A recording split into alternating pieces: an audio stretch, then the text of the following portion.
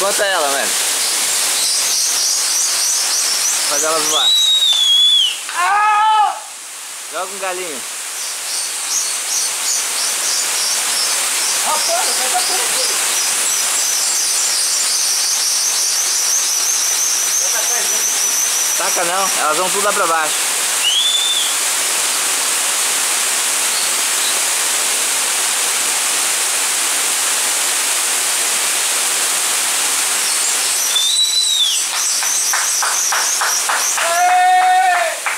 Tá na hora de acordar.